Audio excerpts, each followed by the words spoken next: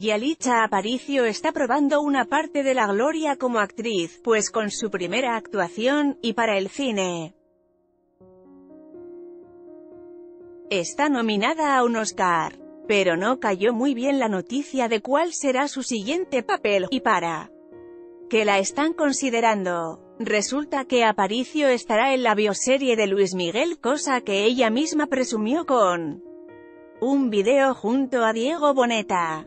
¿La querrán ahora para la doméstica? Ambos se dijeron felices porque van a trabajar juntos pero en el programa Sale el Sol fue donde Ana María Alvarado soltó la nueva.